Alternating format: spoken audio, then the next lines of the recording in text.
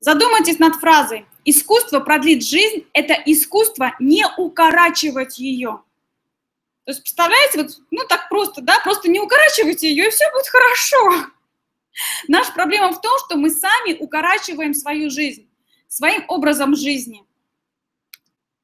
Все болезни современного человека обусловлены прежде всего его образом жизни и повседневным поведением. А здоровый образ жизни – это основа профилактики заболеваний.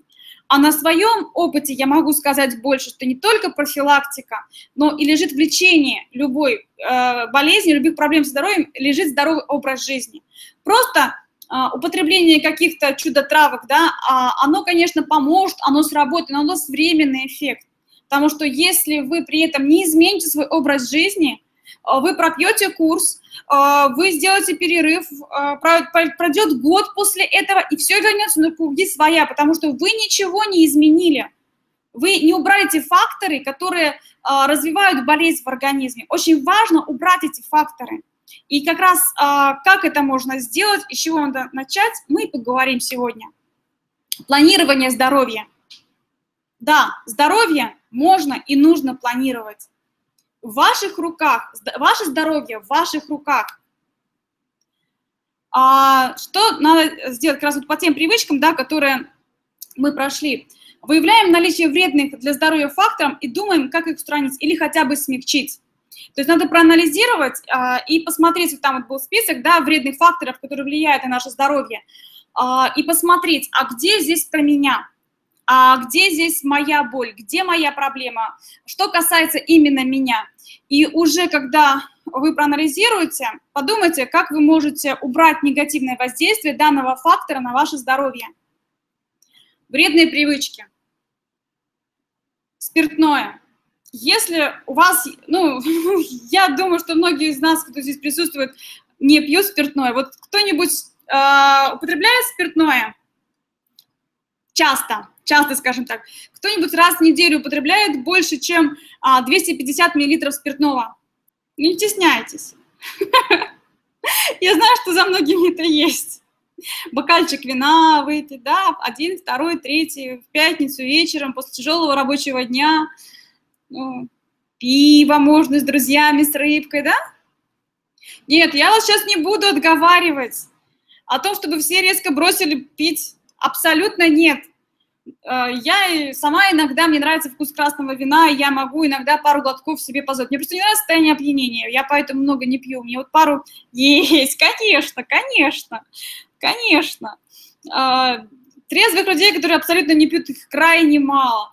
Но вот если, если вы э, пьете, да, спиртное, хотя бы постарайтесь качественное пить, да, там не поскупитесь, потому что это ваше здоровье.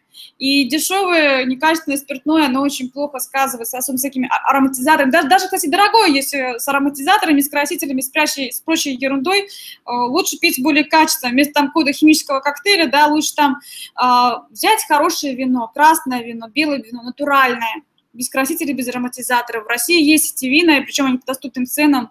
Абраудерс, у них замечательные вина. А, если за вами такое есть, если вы употребляете спиртное, регулярно чистите организм, поддерживайте свою печень, проходите детекционные программы, поддерживайте свой организм. Бокал сухого вина, да, да, да. А, кстати, белое вино, насколько я знаю, оно а, убивает сальмонеллез, а красное, оно улучшает состав крови. То есть, да, это есть. Но, тем не менее, все равно если это на регулярно, все хорошо в меру, да, раз в неделю, если немножко, это, в принципе, еще ничего. А если это получается больше, чем бокала, э, бокала вина, да, вот нужно поддерживать печень. А если вы идете на какую-то гулянку, там Новый год отмечается, день рождения, вы понимаете, что никак не отвертеться, надо выпить, ну, я на самом деле уже опытный откручиватель, я спокойно ухожу, мне никто даже уже, в голову не приходит меня заставлять что-то пить, потому что знаю, что это бесполезно. Вот. А, есть же вещи, которые можно выпить перед этим, тот же лук тайбай, да, вы выпиваете его перед гулянкой, и вы сразу же защищаете свою печень.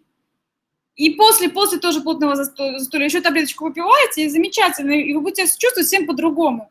А с утра, с утра ехомчика, чтобы вот это вот все вывести, да, и, и похмелья не будет, и все будет просто замечательно. Если вот как бы есть такое, сразу продумайте меры профилактики. Ну, в России тоже я знаю, что есть всякие сорбенты, которые помогают это вот быстрее вывести все, да.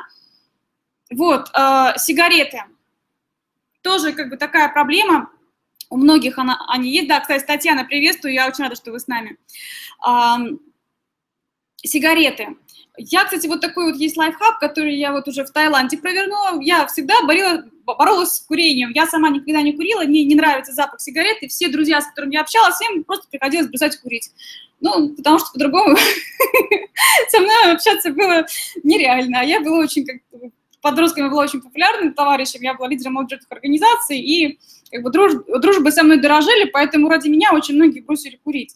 Вот. А в Таиланде, в Таиланде я нашла способ, как это сделать э, максимально просто.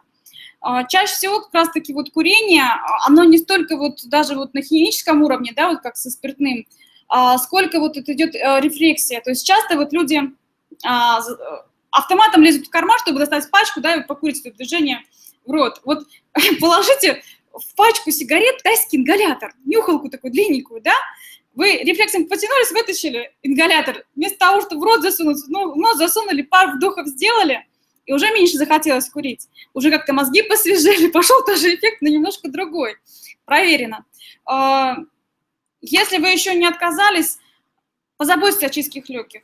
А, сборы для очистки легких. У нас вот есть вот сбор для а, помогающий бросить курить, он как раз-таки основан на то, что он очищает легкие от смол.